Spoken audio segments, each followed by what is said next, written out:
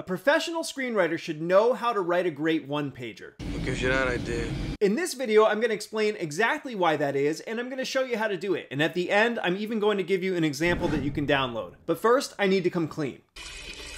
I have been a professional screenwriter for longer than I've been writing one-pagers consistently. I found them to be a huge chore, and I had very little confidence in what I was doing, and the ones that I did write were kind of boring and they were much more like a synopsis, which meant that they were also ineffective. But then in early 2023, I was talking to my buddy Jason Gruich. Hi. Jason sent me two of his one-pagers, and not for completed scripts, but just for ideas that he had in the hopper. And they were awesome. It was almost like reading movie trailers. Those one-pagers made me want to read the scripts. And that meant that they were a perfect tool for getting, say, a producer or an executive or a director excited. So I asked him how long they took him to write, and I believe his response was something like, Dude, it's not that fucking hard.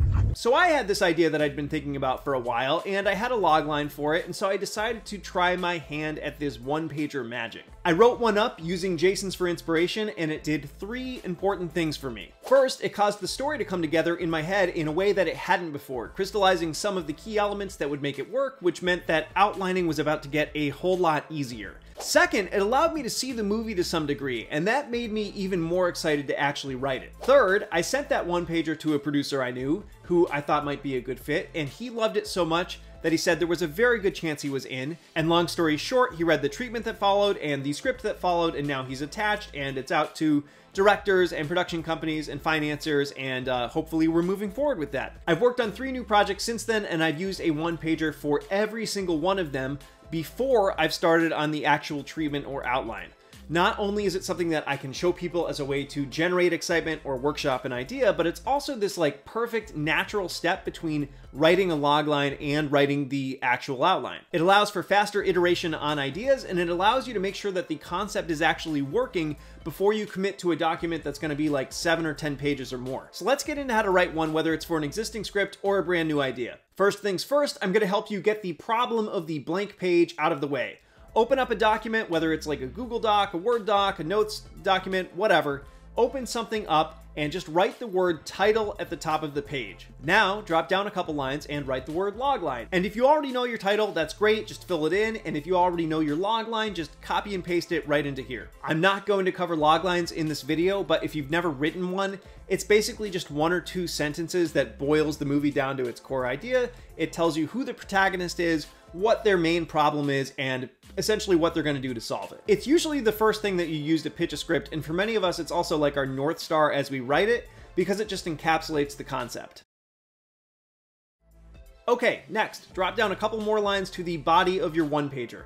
Once again, although there are different styles of one-pagers, we are not writing a synopsis here. What you're writing is going to feel much more like a movie trailer. You're going to give the reader a clear picture of genre, tone, setup, a handful of Act 2 highlights, and then you're going to get out. For now, you're just going to write the word opening, and then you're going to drop down two more lines. Next, write the word inciting incident, and once again, drop down two more lines. Now, write forcing the protagonist into action, because that is essentially what we do to our characters as we move them toward Act 2. Drop down a couple more lines and write moving into Act 2. Finally, drop down a couple more lines and write Act 2 moments and a hook. And just like that, you've now got a framework for your one pager, and hopefully it's already less intimidating. Each of those lines represents one or two paragraphs. That's it, which means that this is literally something that you can finish up today. Because I talked about one pagers already in a free class that I did on here, I actually made up a sample using Die Hard because it's a well-known movie that I absolutely love. So I'm going to use that to talk about each of these sections. In the opening, which represents one paragraph,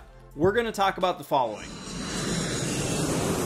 You want to provide an opening or an opening image that is at least going to hint at the tone and the genre. Again, the more that you can actually see the movie, the more this is going to help you and anybody who reads it. For most movies, this is where you want to introduce the protagonist, along with like a couple things about them that will make us like or care about them. And finally, you want to provide enough setup in the opening to establish why the inciting incident will be a major problem for your protagonist. So in the Die Hard example, we open on a landing plane. Inside is John McClane, a wisecracking New York City cop who happens to hate flying. But he's got more to be anxious about than that. He's on his way to see his wife Holly for the first time in months. She moved to LA to chase her blossoming career, and thinking it wouldn't work out, John stayed behind. He's about to see firsthand how wrong he actually was. And just like that, we know who our lead is. The opening shot and the fact that he's a cop suggests genre, and the fact that he's wisecracking suggests it'll also be fun.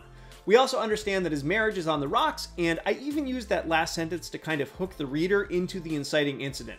So let's talk about that next. The inciting incident is typically either the best or the worst possible thing that could happen to your protagonist. It upsets their status quo and it makes it incredibly difficult to get what they want. In Die Hard, John's gonna have trouble patching things up with his wife if they're dead. But also, there's a very clear emotional inciting incident when John discovers that Holly has changed her last name to Gennaro.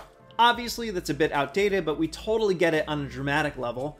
Things are worse with his marriage than he thought.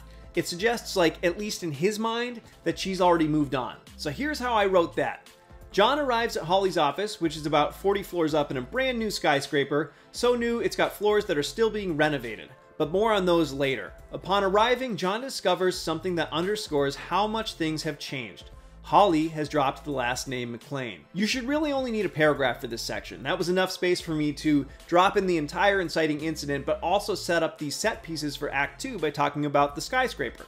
I like to take the key moment and really punch it up on the page by centering it and making it bold. You can do the same, but also know that that's just a style thing and it's totally up to you. Next, we're going to move on to forcing your protagonist into action. This section represents the back half of Act 1, where the protagonist typically realizes something needs to be done, but maybe they're not quite ready to do it yet. When we move into Act 2, we want our protagonist to be active and to actually decide to take action toward their goal. So this section is really about setting up or forcing that decision. This revelation spawns an argument, but as an executive, Holly needs to step away to make a speech to her employees, and John takes a moment to freshen up and cool off, realizing he was unfair and now intent on smoothing things over. Except, unfortunately, that's when the terrorists strike. Half a dozen armed men, led by Hans, their brilliant suit-wearing boss, storm the building and quickly take everyone hostage. Hearing gunshots, John manages to slip away to the CEO's office. Unfortunately, that's where Hans is headed to. John hides and listens as Hans brings the CEO into his office, questioning him and demanding a vault code that will give him access to $640 million in bearer bonds.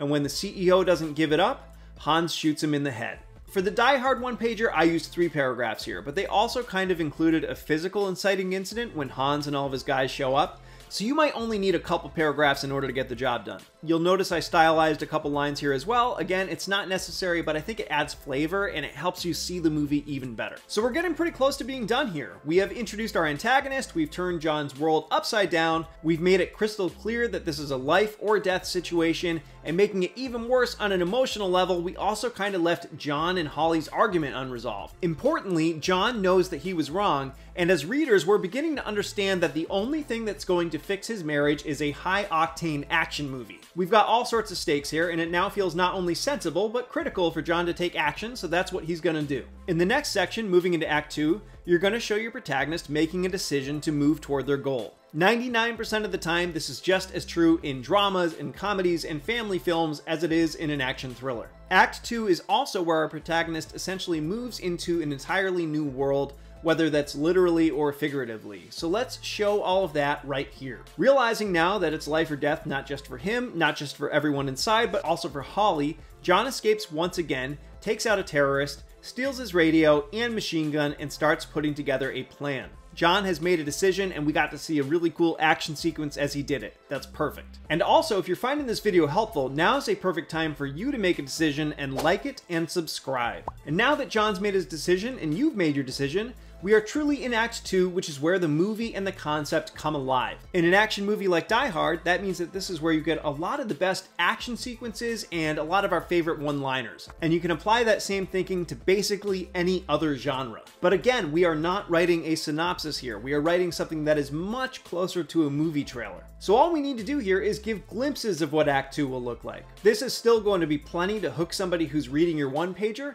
but it also takes some of the pressure off if, like me, you're using it pretty early on in your process. So in this section, I typically only use a single paragraph, and I also like to end it with some kind of hook. Whether it's fistfights or gunfights, whether it means leaping across elevator shafts or off the building itself, whether it means detonating a massive block of C4, John's going to take these guys down and save his wife, or he's going to die hard trying. That paragraph is all we need to understand what the movie is going to feel like. It makes the genre and the tone crystal clear. Yeah, this is going to be an action packed blockbuster, but it's not taken.